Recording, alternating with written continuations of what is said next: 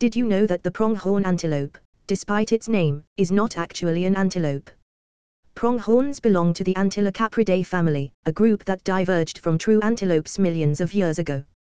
Pronghorns are uniquely adapted to the grasslands of North America, with slender, agile bodies built for speed and endurance.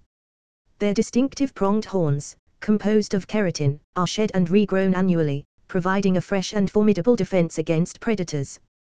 Pronghorns are also remarkable for their exceptional eyesight, allowing them to detect potential threats from great distances across the vast prairies they inhabit.